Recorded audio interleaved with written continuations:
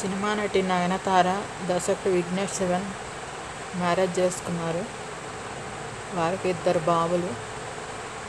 తను సరోగస్ ద్వారా ఇద్దరు కాల మగపిల్లల్ని కన్నారు. అప్పుడు చాలా విమర్శలు వచ్చినాయి నయనతార మీద. ఇప్పుడు ఆ పిల్లలకి మొదటి బర్త్డే జరుపుకుంటున్నారు. చాలామంది సెలబ్రిటీస్ విషెస్ చెప్పారు. ఒక బాబు పేరు ఉయిర్ ఒక ఒక బాబు పేరు ఉలగ్ వారికి birthday wishes చెప్దాము congratulations Ulag Uyir happy birthday both of you